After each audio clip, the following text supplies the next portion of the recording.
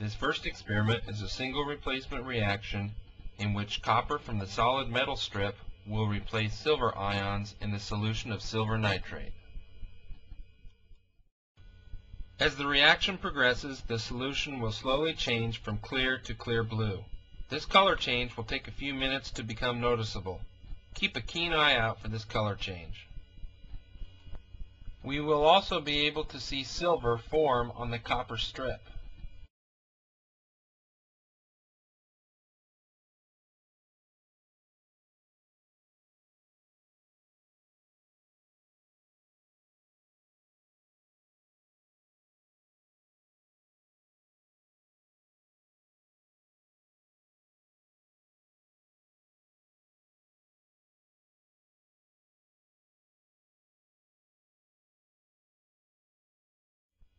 Here we begin to see the evidence of silver precipitating out of solution by the formation of silver metal on the copper strip.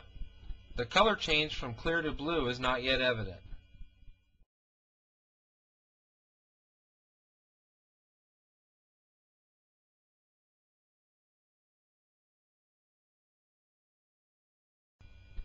The blue color of the solution is indicative of the formation of copper nitrate solution.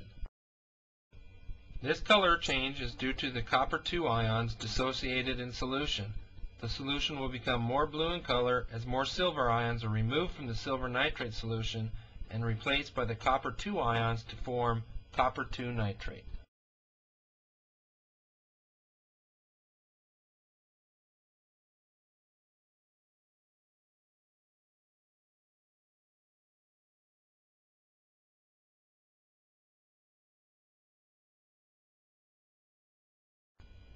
Now the silver precipitate can easily be observed as a thick layer on the copper strip. Also note the silver precipitate that has slept off the copper strip and settled out on the bottom of the solution.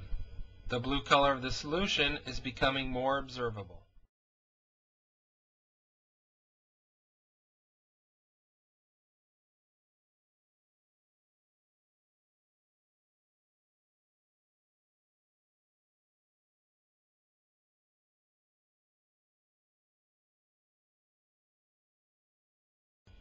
On the activity series of metals, copper is above silver, which means copper will replace silver in the silver nitrate solution.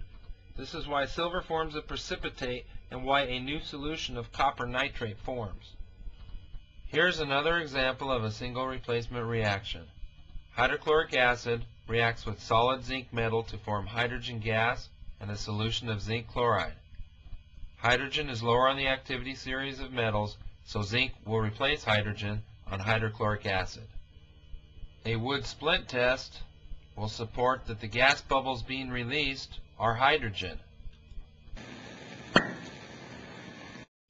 When the solutions of lead-2 nitrate and potassium iodide are mixed, the metal cations exchange with the nonmetal anions to form a solution of potassium nitrate and an insoluble yellow precipitate of lead-2 iodide.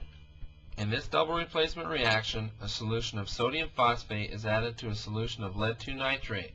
The aqueous metal cations exchange nonmetal anions. In this case, the lead-2 cation abandons nitrate and rejoins with phosphate to form the white precipitate lead-2 phosphate. Sodium abandons phosphate and rejoins with nitrate to form a new solution of sodium nitrate.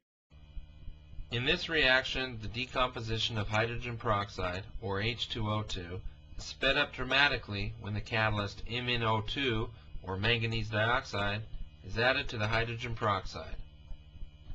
The hydrogen peroxide decomposes into water and oxygen gas.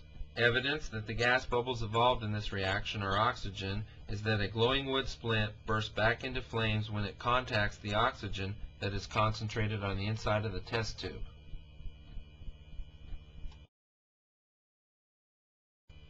In this combustion reaction, a fine powder made of hydrocarbons is dispersed into the air where it mixes with oxygen. In the flame, the combustion reaction proceeds to form CO2 and water. Note the great release of energy.